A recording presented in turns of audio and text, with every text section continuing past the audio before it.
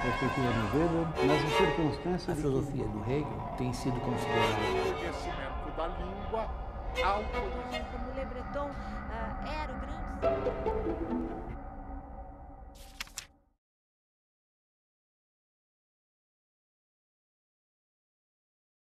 Então é disso que eu falo, que é sempre um, algo que trai toda a obra. Algum momento de dúvida, hesitação e incerteza que transparece quando observamos o ateliê. A gente começa a ver que a importância do quê? Dos, dos intermediários, dos, intermediários da arte, com o surgimento da crítica, né? Esse ateliê de Latour, e que vocês vão ver a partir de então a, a sociedade burguesa que se forma em todos os quadros de representação social. Né? Não é mais a igreja, não é mais o refúgio do, do Criador, não é? é um homem inserido numa sociedade de representações e poderes. Courbet, esse quadro é famoso, né? Dos quadros mais conhecidos. Alegoria Real, essa, essa exposição foi recusada em mil, na Exposição Universal de 1855. E Delacroix, e Delacroix é, fala, é, diria que recusar, recusaram uma das mais singulares obras desse tempo. Apesar de que o único defeito dele é que no meio do quadro, ele, o pintor, nesse, nesse, nesse aqui, nesse céu, faz uma espécie de, de anfibologia. Né? É, ou seja, há uma certa ambiguidade segundo Delacroix, exatamente porque tem esse quadro aqui. Só que a anfibologia, ou essa ambiguidade, a gente atravessa toda a tela de Courbet. O artista, tá, aqui, e o, e, a, e o ato de criação ocupa o centro da, da cena. Então, entre dois mundos que, que colidem no ateliê para serem transmutados. Do lado de cá, do lado de cá, é, tem personagens da vida cotidiana. É, tem, tem um comerciante, uma mulher, um ancião, um juiz, um saltibanco. E à direita, aqui, o mundo das artes. Os intelectuais da época, os amantes da, da, da música, inclusive esse aqui no cantinho é o Baudelaire. A posição do pintor realiza uma apoteose do artista romântico e de sua subjetividade como um juiz, um gênio, que deverá escolher entre como modelo o Deus, a Deus, né? Tá aqui atrás, escondido. A musa. A natureza.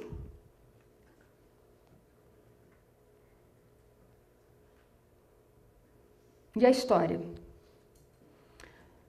E o ideal. No entanto, ele consagra o artista romântico e sua subjetividade como afirma a liberdade e autonomia da arte em relação com a história. Ele tanto afirma como nega a figura do gênio. É disso que eu falo que ele é, ele é tão ambíguo como aquilo que o, que o Delacroix só detectou aqui nesse quadrinho aqui. Ó. É, e é para Courbet uma identidade entre a mulher, a musa e a natureza. Porque afinal ele não representa a musa, representa a natureza. A, um, a natureza é erotizada, a intensidade da vida e da arte pertencem aos mistérios do desejo e do amor, aos segredos da matéria e da sexualidade. Olha. Isso que ele anuncia na origem do mundo.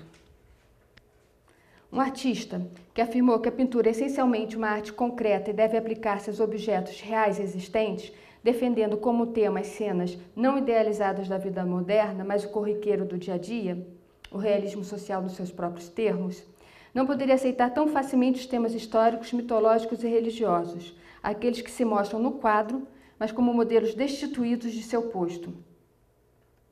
Ou seja, estão todos lá, mas nenhum está no centro do quadro representado. O libelo de Courbet é sensível à situação de uma vida real, ainda que o artista e o gesto criador ocupem um mais alto grau de realidade ou quiçá de idealização. É um artista realista, em essência romântico. São suas anfibologias. Como disse o próprio, próprio pintor, vocês compreendam, isso é uma citação, vocês compreendam como quiserem. Pois bem, o que, que o, o Courbet fez? O Courbet transformou o cotidiano, cotidiano banal em monumento. Manet vai fazer o oposto, né? Ele vai, ele é o um é um camponês, o Courbet. O Manet é um citadino burguês. E ele vai fazer desse mundo, desses tempos desprovidos de substância, uma espécie de mística negativa. Manet. Ele transformaria o monumento, como as grandes telas da história da arte, em tema prosaico. Isso está em, em, quase todas as suas, boa parte da sua obra.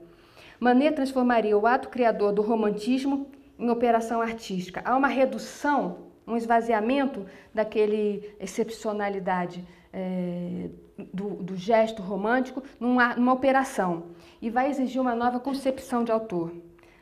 Esse é um quadro do Manet sobre o Monet. Né? É, Monet, trabalhando seu barco ateliê, tem muito tempo, sua esposa no ateliê flutuante, que é 1874. E essa mesma disposição é, entre Monet, essa disposição mundana, né? o, o ateliê se torna algo mundano, né? tanto no Manet quanto no, no Monet, mas eles ganham contornos diferentes. Né? No Manet, constrói a cena de Genel no ateliê. No Monet, na pesquisa da sua percepção instantânea plein air, é a tarefa de, está a tarefa de fixar os dados da visão. Essa, essa saída do ateliê para o plané contribuiria para destruir as convenções do ofício pictórico.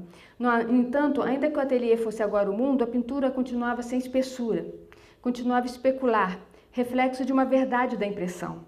De frente ao mundo, a tela destacava-se de sua opacidade como um lugar intocado, exterior a ele. Ainda era o seu duplo. O compromisso de pintar diretamente sobre a luz do dia manteve no exterior do ateliê até seus últimos anos. E quando construiria em Giverny,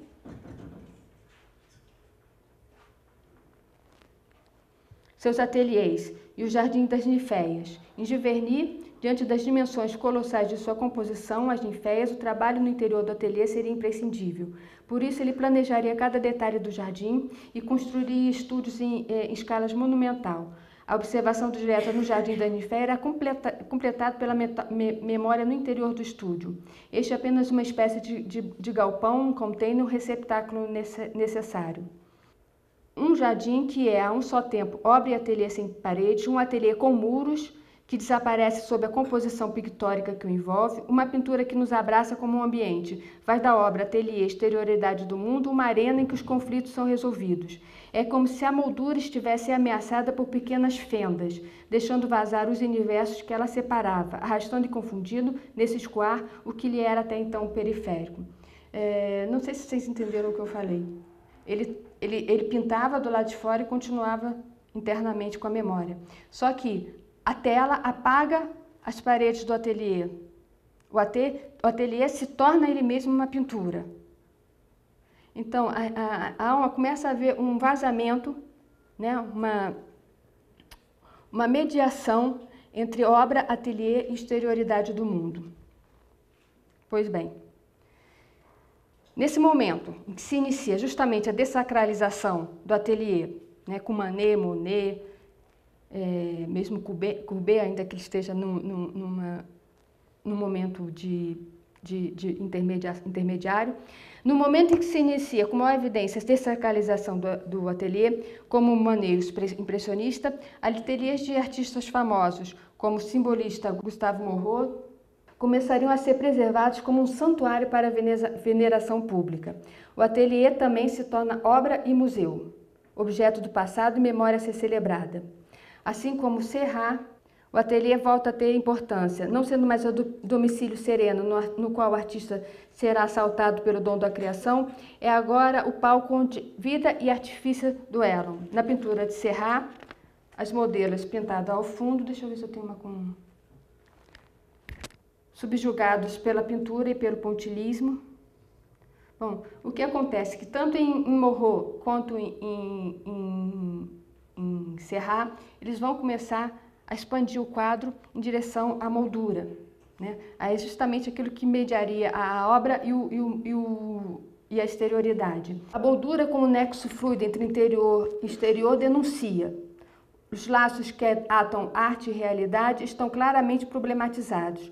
O que aparecia ali é que a passagem ontológica que entrelaçava o real e sua representação, entre a consciência e o mundo, entre o sujeito e o objeto, entre arte, entre o ver e falar, está a desatar seus laços. E essa desarticulação se questiona a arte em seus fundamentos, também recoloca antiga e difícil interrogação filosófica sobre real. Não sei se vocês conhecem. Uh... O Poussin dizia que a a moldura ela devia ser um signo discreto, que ela devia fazer ver sem se mostrar. Né? E esse signo discreto, esse parega, que conduz o olhar, ela sempre pertencia muito mais ao espaço do espectador do que ao espaço propriamente da obra, ela que vai fazer a mediação. O que vai acontecer a partir de então, principalmente no, com os artistas é, modernos, é, como Brancusi, Mondrian, Pollock, que são os artistas como, tendo como os grandes os paradigmas dessa, dessa abstração, dessa, dessa abstração da arte, da arte se colocar no seu espaço de idealização, etc. Eles vão pensar a moldura e a base, o ateliê exatamente como uma extensão e uma moldura, uh, e uma moldura habitável. Toda a relação do ateliê começa a ser uma relação com a moldura e com a, e com a base. Nós chegaremos lá mais, mais, mais adiante. Só para mostrar que a partir do século XIX, como, é, como esses, esses, esses limites vão sendo é, espargidos. Né? Uh, Picasso e Matisse vão retomar o tema de forma obsessiva. O ateliê é o lugar onde interroga a superfície opaca e indecifrável do real, esse mistério pós-kantiano com o qual aquele pedaço de tela nos afronta. Mas ali não se dará uma revelação, mas o acossar de um sentido para a arte e para a vida que temem se esvair. Da bruta e trivial experiência cotidiana, o ateliê é mais que o lugar do trabalho de artista, o domicílio natural e significativo da arte. É onde o artista, por intermédio da arte, experimentará o mundo e dali extrairá o ato de pintar, quiçá o ato da criação. Para Matisse, o ateliê não se diferenciava do espaço do mundo.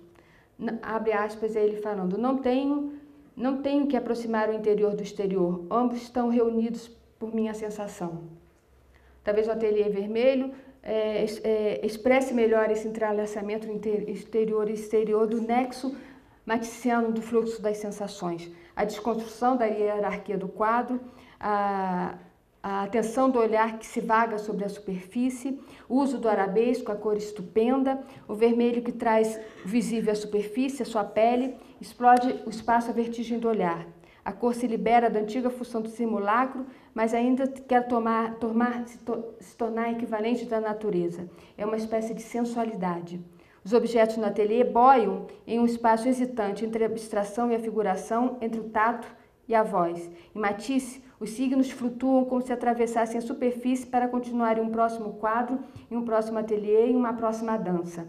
É como se a linguagem escorresse, rarefeita no fluxo sereno das sensações. Os objetos no ateliê boiam em um espaço hesitante entre a abstração e a figuração, entre o tato e a voz. Em Matisse, os signos flutuam como se atravessassem a superfície para continuar em um próximo quadro, em um próximo ateliê, em uma próxima dança. É como se a linguagem escorresse, rarefeita no fluxo sereno das sensações.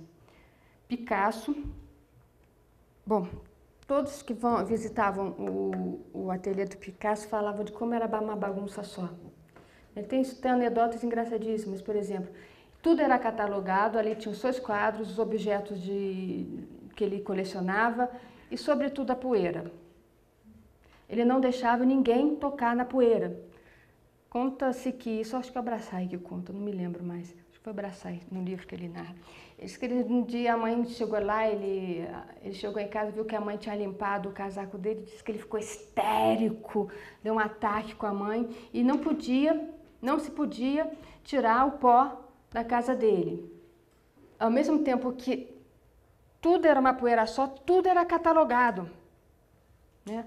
E ele tinha essa noção de que era preciso catalogar catalogar e, e registrar as coisas para pensar em relação à história, para se colocar, ver a si mesmo em relação à, história. Tem uma passagem ele, que ele conta que o, o Braçai estava falando sobre a Pompeia, é, das descobertas de Pompeia, e aí ele diz o seguinte: viu como é importante o pó? Se não fosse a poeira, como é que você é, resgataria essa arqueologia? Então, toda a relação do ateliê do Picasso inevitavelmente passa, um, pelo seu lugar na história da arte, ou seja, na tradução e como vanguarda e como ruptura. Segundo, a sua relação com a história do homem, mas com uma história de um homem a ser pensado, definido. Ele fala, falava de uma, de uma espécie que um dia vão inventar a ciência do homem e vai estar tudo catalogado é, aqui por conta disso. Ele pensava nisso. Terceiro, o ateliê é o antro do Minotauro. Né? É, os ateliês de Picasso quase sempre estão relacionados ao seu percurso amoroso. Jaqueline no ateliê. Eu trouxe até o nome delas. Para Picasso, a bruta realidade da vida é atravessada pela violência erótica. As modelos de Picasso sabiam sem, seriam sempre sua paixão de ocasião. O ateliê o antro do Minotauro, o animal que habita sua casa corpo ateliê. Um labirinto que o encerra e do qual só se mudava após encontrar um novo amor. Há uma geografia amorosa dos ateliês de Picasso. Montmartre Fernand. Acho que só tem Jaqueline, deixa eu ver. Montmartre e Eva, La Rue de la Boétie e Olga, Normandie Marie-Thérèse, Saint-Germain-des-Prés e Dora, Voiry e Françoise, Cannes e Mujan e Jaqueline. E sim, e sistematicamente ele vai pintar o modelo e o pintor. E é claro, ele ilustraria faria a capa da obra Prima Ignorada do Balzac. Ah, esse é esse é a tela que ele fez para na morte do Matisse. Eu trouxe então algumas representações pictóricas, extensões das representações nesse quadro. Esse é o estúdio da Lúcia Laguna, é uma pintora carioca, acho que vocês não sei se vocês conhecem. Esse é o Daniel Senise. Por um, um, uma técnica que ele chama de sudário, né? Ele vai colocar panos no chão, né? Fazer uma monotipia, né? Estendê-la e montar o quadro. Ou seja, ele leva o resíduo, né? O resíduo do chão e a, não há mais tinta, ele abandona o, o abandona as técnicas tradicionais da pintura, como o pincel. Ele vai fazer isso com, a, com todos os, os outros, os outros é, toda essa cadeia de relações de, de, espaços da arte. Vai fazer isso com a galeria, vai fazer isso com o museu e faz isso com o ateliê também. Ele leva a sujeira do ateliê, o pó do Picasso, para dentro da tela. Então, aqui ele faz o inverso, aqui ele fotografa, são várias cópias idênticas, ele imprime no, numa tela, são fotografias do ateliê, ele bota, coloca no chão, dá para ver que tem pe, pe, pegadas aqui? Mas o interessante é isso, a, a fotografia são absolutamente cópias idênticas e a diferença é o tempo, o resíduo e o, e, e o vestígio, né? Ou seja, são índices sobre índices, né? impressões sobre impressões e a, e a apresentação era exatamente isso. Essa é uma exposição da Laura Lima que teve agora no, no final do ano passado e que se chamava O Mágico Nu. Isso é, é a Casa França Brasil. Não sei se vocês conhecem a Casa França Brasil no Rio. A Casa França Brasil é um prédio do Grand Jean de Montigny. É, é um prédio neoclássico, absolutamente simétrico. Né? Quando o Dom João veio para cá, trouxe esse pessoal todo para ver se começava uma certa projeto civilizatório aqui. Não deu muito certo, eu acho, mas o que, é, o que é, por um lado é bastante bom. Esse prédio era a antiga alfândega, então ela rompe a estrutura, a estrutura é, simétrica, colocando de um lado estantes e, e, e, e argila e mapas, coisas penduradas para ele trabalhar. E do lado de cá, ela vai rompendo a simetria. E nisso, tem um personagem que se chama o Mágico Nu. Ele fica o dia inteiro para cima e para baixo. Ele não faz nada, ele só fica fazendo isso ou fazendo esculturas. Esse é o lado mais caótico, digamos assim. Ele fica o dia inteiro fazendo esculturas, mexendo na argila. Do lado de cá, eu não tenho foto, tinha um casal nu, dois jovenzinhos, que tinham é, apliques na sobrancelha e nos pelos pubianos, né? E eles, é, era uma figura, era uma figura grotesca. E assim, eles olhavam o mágico. Nós olhávamos ele e o mágico. E, eles, e, e o mágico não olhava ninguém. Ou seja, ou seja, essa relação do olhar que, que começamos a, a, a, ver lá em, em, em, nas meninas, no Vermeer, é, é uma relação que se estende aqui.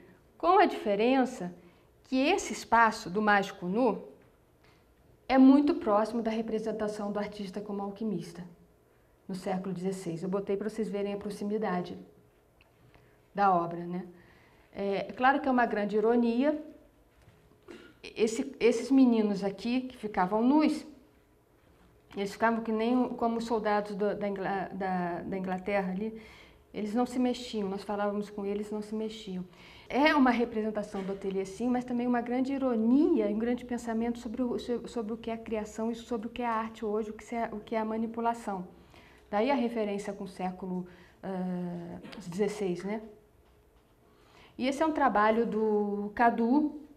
Cadu também é, é um artista do Rio, em que ele passou um ano regulando seu consumo de seu consumo de luz para fazer essa curva aqui, obsessivamente. Dizer, é uma representação pictórica, um desenho, na verdade, né? um desenho do ateliê. Né? Mas é um desenho do seu cotidiano, da sua relação, da sua obsessão né? sobre, sobre, sobre o ateliê. Então, só relembrando, fazer uma retrospectiva. É, é, é, esses são ateliê, representações do ateliê na Idade Média, o ateliê como lugar de, é, é, é, como lugar do, do, de criação né, do, do artista individualizado, ele não existe. O ateliê era uma espécie de corporação de ofícios. O que existiam eram as artes mecânicas, onde a pintura e a escultura faziam parte. Então, essa ideia de um artista individualizado como criador, etc., não aparece. Só vai aparecer no século XV. Começa a aparecer São Lucas retratando a Virgem em vários locais laicos.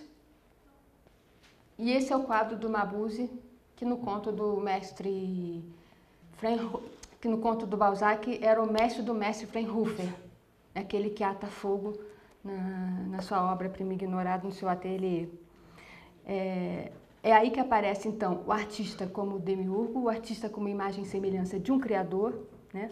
E tem no ventre, no ventre, no ventre, no ventre materno, no ventre de Maria, a criação, né? Que gera a obra O Filho de Deus, uma, uma metáfora para o ateliê. Né? É aí que aparece a noção de indivíduo, aparece a noção de autor, como a gente mais ou menos entenderia, né? ou de criador.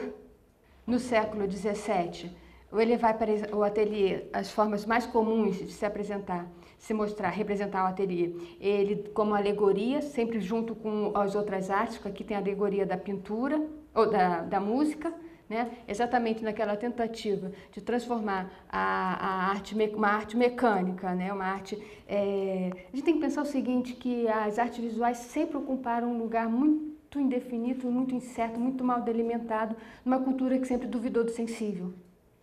Porque ela é basicamente matérica, né? basicamente sensível. Então ela sempre ocupou um lugar ambíguo. Né? Ela sempre teve, assim, em relação com a verdade, umas negociações meio, meio pífias, né? É... Tem uma introdução do, do texto de Ledoux que ele diz uma coisa linda assim, que com a ausência, com a falta, com nada, não se negocia. Né? Que os artistas podem ter dito o contrário, que os, que os, os críticos, os teóricos podem criar teorias, mas a obra sempre soube, sempre soube que não se negocia. Não se negocia.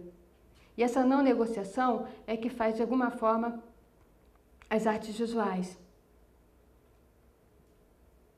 Esse lugar estranho, mal delimitado e ao mesmo tempo potente, exatamente porque é dúbio. Pois bem, o outro que também é bastante comum é o ateliê do alquimista, né?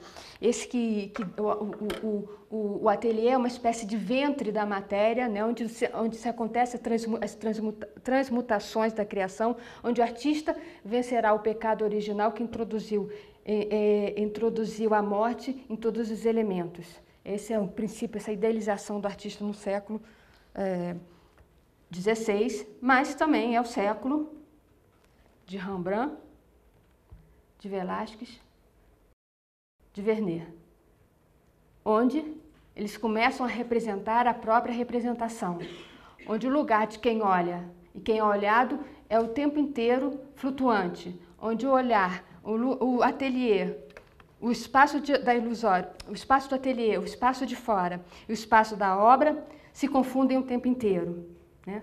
onde o sujeito que aparece no horizonte é aquela consciência de Descartes que diz eu penso, logo existo.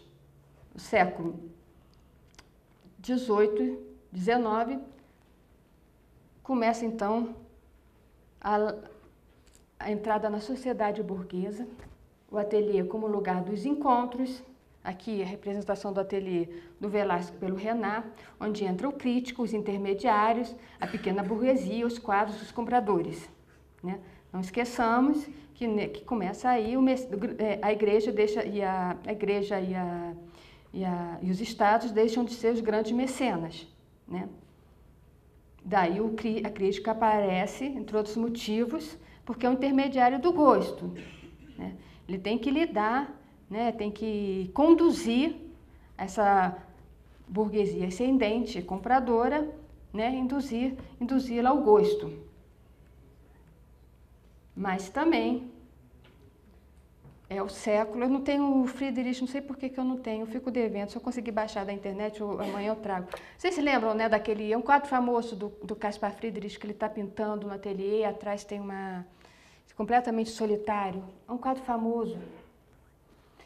Nesse momento, né, é, é, entre, não sabe qual é? Amanhã eu trago para vocês, eu baixo da internet, que é um quadro muito conhecido. É o momento também em que, em que o ateliê passa a ser esse ambiente social, né, da burguesia, mas que também o artista, aquele que se descobre né, é, como criador de seu próprio criador, né, ele se descobre é, se descobre em queda, desamparado e ao mesmo tempo celebra essa queda, essa queda do paraíso, essa queda desse esse homem órfão, esse homem destituído, destituído de divindade, mas ao mesmo tempo é o homem é, que criou a Deus, ele é o grande criador, né? é o homem que oscila nesses dois, entre a, entre a dor da queda e a alegria de descer. Né? Vai aparecer pela primeira vez a ideia de um artista idiosincrático, sozinho, no ateliê, a grande pitonisa em criação, ele é o grande demiurgo porque ele pode criar tudo, mas também onde aparece pela primeira vez o ateliê sem um artista. E um deles é o do Delacroix, que eu acho antítese de quase todas as obras dele, porque não há o, o, as cenas históricas, nem, não há as grandes caçadas, não há as cenas exóticas. O que existe ali é um canto do ateliê, onde nada acontece, onde nada talvez vá acontecer. Eu acho que essa é a grande angústia do homem romântico. Nada talvez, nada de extraordinário possa acontecer. Por mais que ele procure, talvez nada extraordinário vá acontecer. E, o ateliê hoje é museu, o último ateliê dele, né? Manet, que não abriu o ateliê dele para ninguém, que empresta, empresta emprestado, pega emprestado, presta, é que é? Pega emprestado, falei presta emprestado. Ele pega emprestado de um amigo o ateliê, né? O ateliê é completamente desacralizado, não é? Não é o criador, é, não é as grandes monumentalizações é uma operação artística. A arte, a criação é uma operação da arte. Né? É, no caso aqui é o filho dele, mas é um ateliê destituído de idealizações. o ateliê levado à sua própria superfície. Eu devia ter mostrado esse antes, porque ele estava antes, eu não sei por que o Manet foi parar na frente, o, o, o Courbet depois, né? porque o Courbet toma as cenas cotidianas e monumentalizava. O Manet fazer, iria fazer o, o contrário. E nesse momento é o grande, é o grande, é o grande quadro de Courbet rejeitado, onde de um lado estão os camponeses, os juízes, os homens do povo, do outro os homens das artes, inclusive isso aqui que é o Baudelaire. No meio, o quadro, a musa, o garoto, um crucificado aqui atrás. Mas o que ele, no meio da criação, entre o realismo e a idealização do artista, ele pinta a natureza, sendo que seu, o modelo é uma mulher. Porque arte, natureza e feminilidade se encontram. A origem do mundo é a origem da sexualidade, é o segredo da matéria. Manet, Monet, que é retratado por Manet, em seu ateliê plein air. O ateliê sai, sai da, dos limites fechados da, dos muros, para ele captar as impressões fugazes da luz. No momento seguinte, mais à frente que ele vai em Giverny, onde ele pinta as ninféias no ateliê, do jardim, do jardim, ele ia partir da memória, a, a, as dimensões da obra anulam, anulam a, as paredes e a dimensão da obra o embrulha, o envolve como um grande ambiente, onde ele entra na obra. A relação obra, exterioridade, obra, ateliê, exterioridade, começam a vazar as fronteiras. Serra, o pontilismo de Serra, no momento, no final do século XIX, com, é, se exacerba essa essa, esse vazamento do quadro para as pinturas. Um exemplo é o Serra, que acho que dá para ver melhor, que o pontilismo continua pelas molduras, eles se estendem como uma, uma superfície, né, entre arte e artifício. E no caso de Morro, que era um simbolista, ele estende todas essas alegorias simbólicas também. E é a primeira vez que um ateliê se torna um museu. Picasso, vocês lembram da história do Picasso, do Picasso que cultivava poeira no ateliê, catalogava tudo, né? O Picasso que transformaria o ateliê no antro do Minotauro, né? O Picasso que representaria, deixa eu botar lá, aqui, a bagunça dele, né?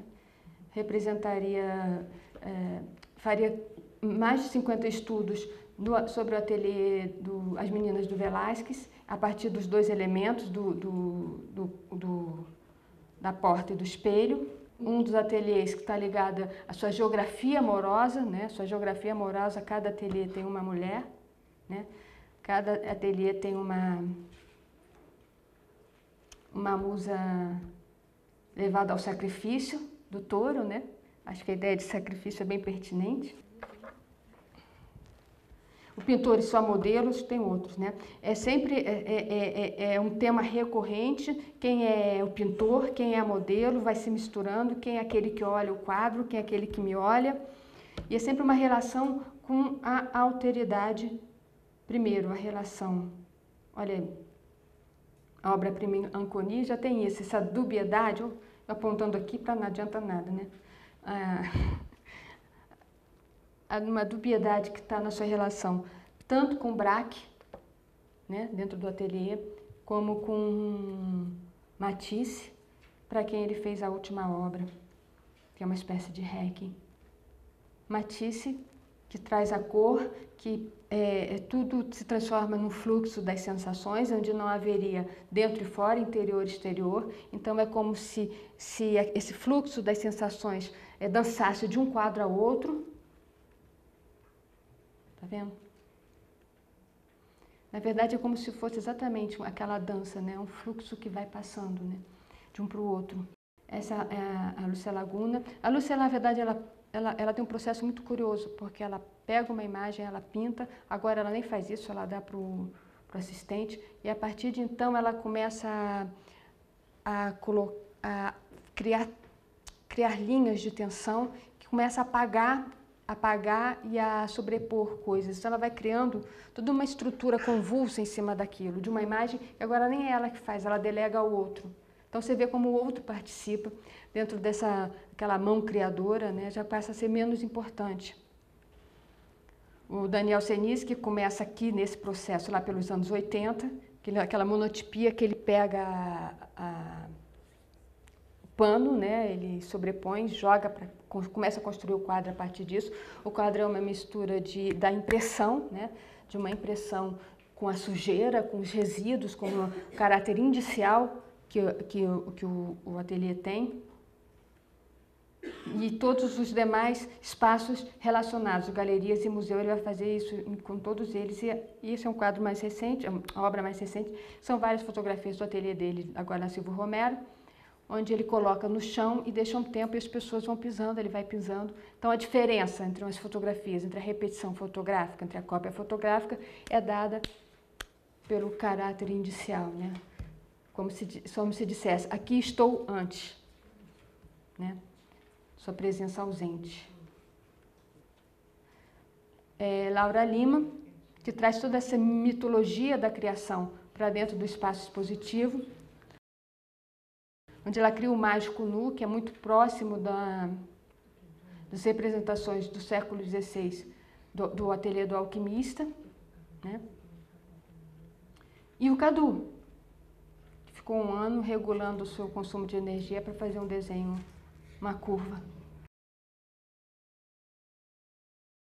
E acho que é isso. Obrigada.